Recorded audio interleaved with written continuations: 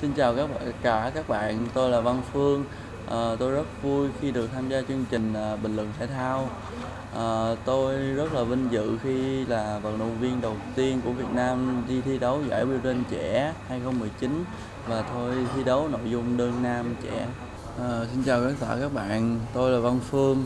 À, rất là rất là vui khi được tham gia chương trình bình luận là bình luận thể thao. À, tôi rất là vinh dự khi là vận động viên duy nhất của quần vợt Việt Nam thi đấu giải Wimbledon trẻ năm 2019 và tôi thi đấu nội dung đơn nam trẻ.